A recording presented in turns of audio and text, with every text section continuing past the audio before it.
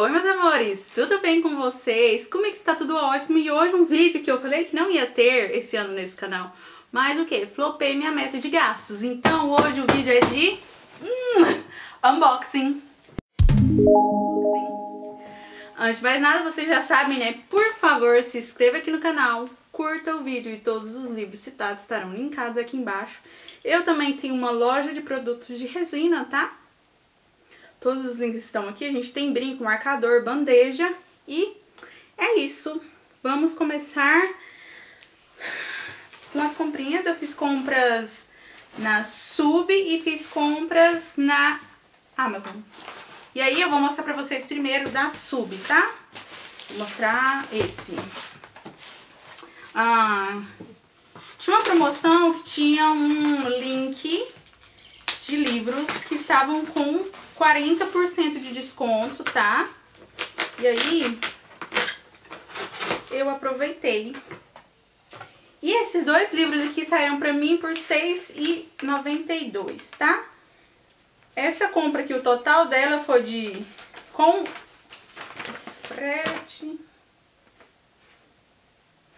É, o total dessa compra aqui foi de R$ 65,92, tá? Tá incluso R$ 7,00 de frete.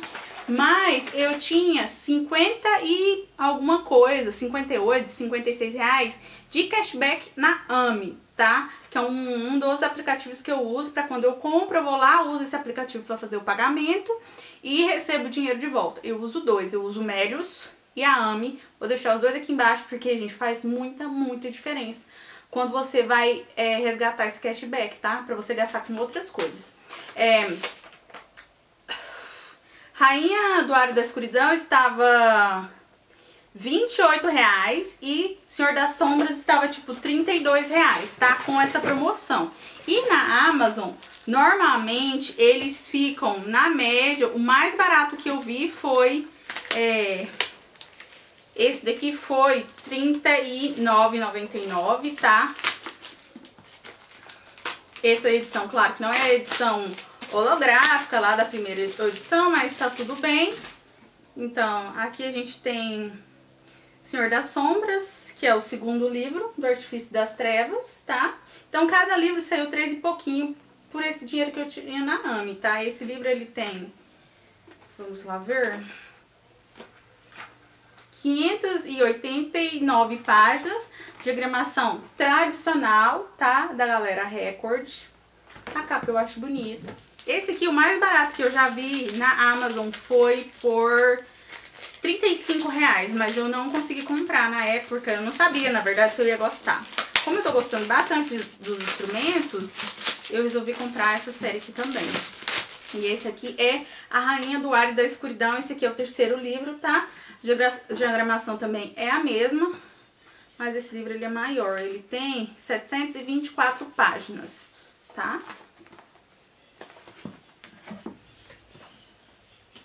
Agora, esses livros aqui, também, da mesma forma que o outro, saíram com 40% de desconto. E aí eu vou até pegar meu celular para poder ver o preço. Porque na nota, normalmente, eles colocam o valor real, tá? Vamos ver. O primeiro livro é, foi R$17,99, que foi o livro da seleção da Kiara Cass. Nessa versão, gente, de capa dura, tá? Eu achei R$17,00 um valor super bom. Normalmente ele fica R$19,90 na Amazon de capa brochura. E eu não li esses livros, por isso eu comprei. Eu acho é um Young Adult, né? Vamos ver o que, que eu vou achar. Ele é da editora seguinte. Diagramação ok também. E ele tem 359 páginas. É, os dos dois próximos livros que eu vou mostrar pra vocês também foi nesse valor de R$17,99, porque o outro é a Elite, tá? E a Escolha, todos de capa dura, eu decidi comprar só a, a trilogia, não decidi comprar os outros lá, que eu nem sei qual que é o nome pra falar a verdade, porque o pessoal falou muito mal, né? Então, como eu não sei se eu vou gostar ou não, resolvi comprar a trilogia inicial, todos eles são de capa dura, como eu falei. E esse livro eu queria, na verdade, na verdade, na verdade, Ele foi 24 e 23. Eu queria ele na versão de luxo, tá? Que ele é todo emborrachado e tal. Mas aí, né?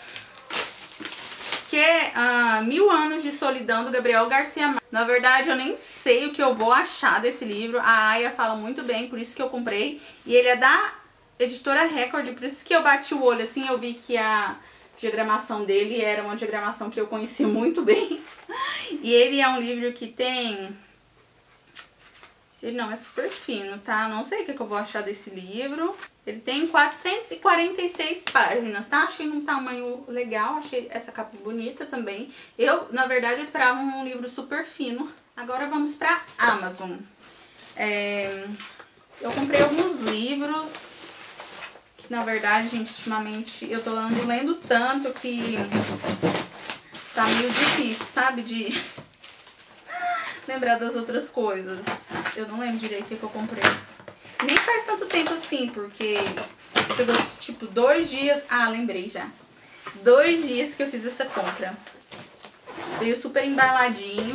Vou começar por esse livro aqui, que vai ser um livro de leitura conjunta. Vou até abrir ele. Ele foi 45 reais, eu falei pra vocês... Perguntei, na verdade, se alguém queria ler comigo. Então, eu vou fazer a votação no meu Instagram. Se vocês querem que a gente inicie esse livro, tipo, dia 20 de fevereiro, pra poder dar tempo. Ou dia 1 de março, eu acredito que vai ser dia 1 de março. Então, se você quiser participar, ainda dá tempo de você comprar o seu exemplar. O link, né, pro livro tá aqui na descrição. Se você puder usar o meu link, eu vou agradecer muito. Que é O Amigo Imaginário do uh, Steve Chabosky. É um livro de terror. E por que que eu falei pra gente ler em conjunto? Ele é da Record, meu Deus. Enfim, uh, porque eu tenho medo, tá? Ó, Christopher tem 7 anos. Christopher é novo na cidade. Christopher tem um amigo imaginário.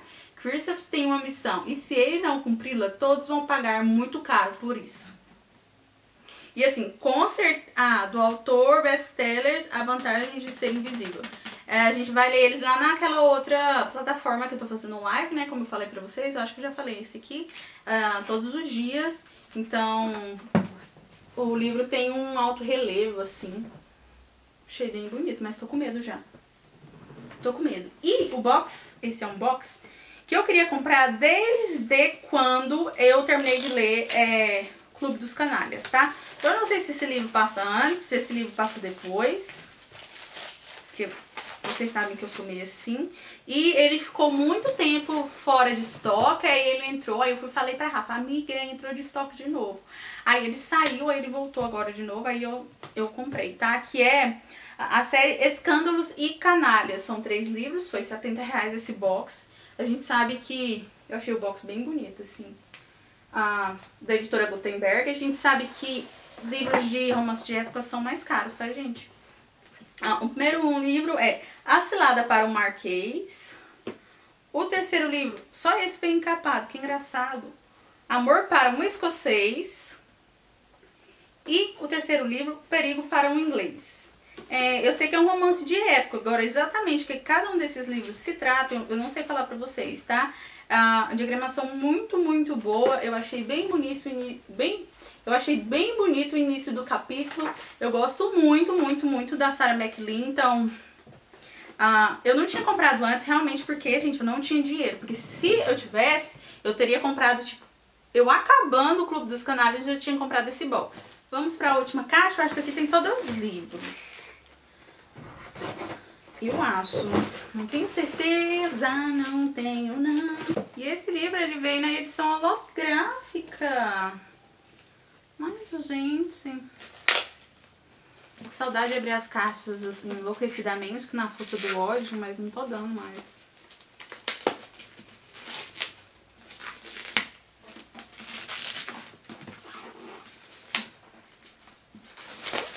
Que é a Dama da Meia-Noite, o Artifício das Trevas. Tá vendo que esse veio holográfico? Os outros, eu nem sei onde que eu coloquei agora. Aqui, esse é o terceiro. Engraçado, né? Que esse é o primeiro livro, veio na edição holográfica e o terceiro livro não veio. Ai, ela era recorde. Mantendo o seu padrão sempre. O próximo é o livro Hot, tá?